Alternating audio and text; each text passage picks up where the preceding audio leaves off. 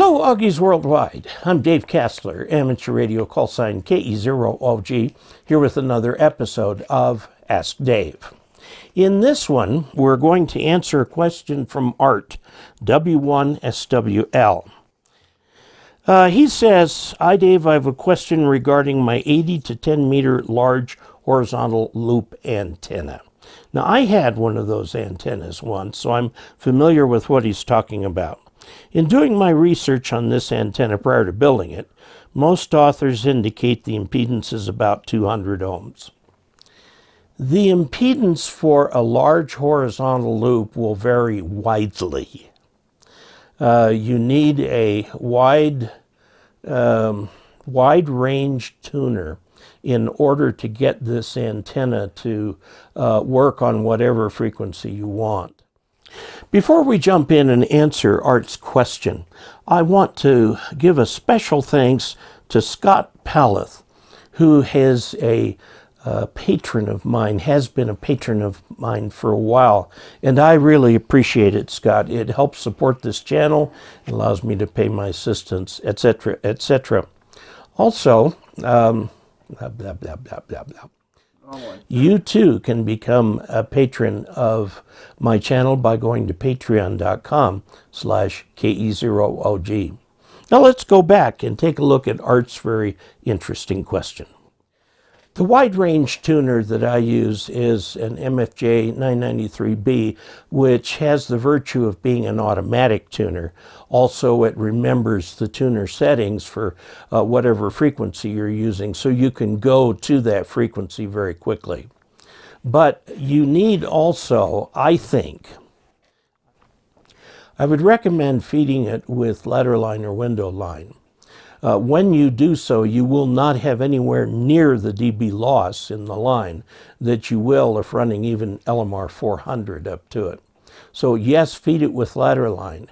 If, like me, you do not want to bring that uh, into the shack, uh, terminate it in a Balun, usually a 4 to 1 Balun, like from Balun Designs, or even a 9 to 1 Balun from Balun Designs uh, will work very well, okay, over a wide range of frequencies. And then bring the coax into the house. I suggest that the coax be something sturdy like LMR 400, that it be terminated at a lightning arrestor right on your ground rod because that uh, grounds the shield on the cable which you want grounded because there's going to be some stray current on that shield. And then bring that into your shack to the tuner.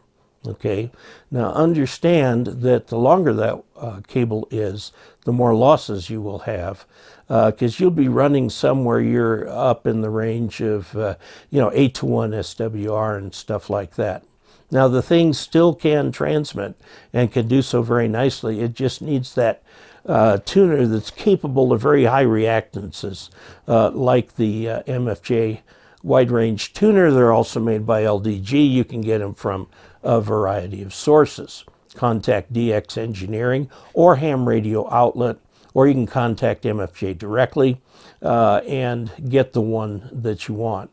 Now, I, I, do note that there are supply chain issues that still plague us, uh, and there are other alternative uh, antenna tuners that you can use. LDG also has automatic antenna tuners that are very wide range. You don't need one of the big fancy ones with the big uh, handle on the coil or anything like that, unless you are running very high power. If you're going to run a kilowatt into that thing, you want a sturdy tuner. And um, the problem with the uh, the MFJ tuner is rated at 300 watts, okay? Um, if you're going to run something at, uh, say, 1500 watts, you really want a tuner that's rated about 3000 watts, because otherwise the voltages in the tuner can cause the capacitors to arc over. And if they start to smoke, something's going wrong, okay?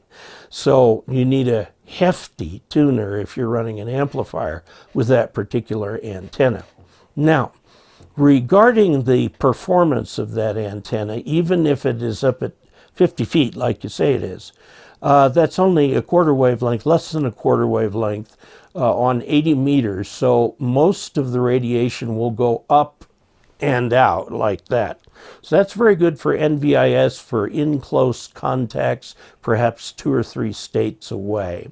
Sometimes you will get some unusual propagation that will bring a signal to you from some DX station. On 40 meters, that antenna is almost a half wavelength, so you will get a little more wide area propagation.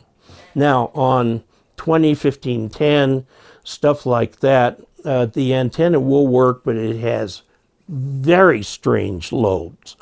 So it might work outstanding going into Belgium, but you can't hit the Netherlands. Okay, I mean, it's just really, really weird spider shaped uh, patterns coming out of this antenna. Now, I said I used to have an antenna like that. I took an old uh, HF9V, which is a vertical that requires radials.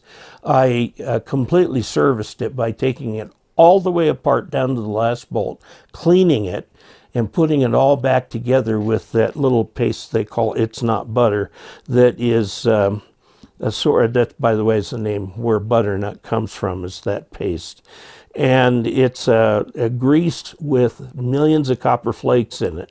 So it's conductive grease. And you use that and it makes very, very good contacts and keeps the antenna in good shape. Now, I found that that antenna worked better than the loop. I had about 15 radials on it, and I completely redid the radial system, putting in about 15 radials, and it was so much better than that loop that I actually took the loop down, cut it into a series of 25 foot radials, and added those to the butternut antenna, greatly improving its performance. I since took a 500 foot roll of uh, black insulated number 14 uh, wire from um, Home Depot and cut that into 25 foot radials and put those. So that antenna right now has a gazillion radials and it performs extremely well. It's no longer the butternut, it's now uh, the, uh, the SteppIR, big IR uh, in there, and it's just a fabulous antenna. So lots of things you can do with that loop. And the nice thing about that loop is if you've got it up in the trees, it can be nearly invisible to the neighbors. I would recommend feeding it with ladder line. And like you, I would not want to bring the ladder line into the shack. I used to do that once, but I had a lot of RFI problems. So I moved the balun further up the line and it works really well. So there you have it. If you would like to help support this channel financially, you certainly may do so. Please go to dcasler.com slash support. Also, while you're at it, click subscribe. Most of the people who watch these videos aren't subscribers. Why don't you become one? It's just your vote of confidence in my channel. It doesn't cost you anything or give you a problem. If you want to be notified of upcoming videos, you can click on the bell. That will do that too. So until we next meet, 73.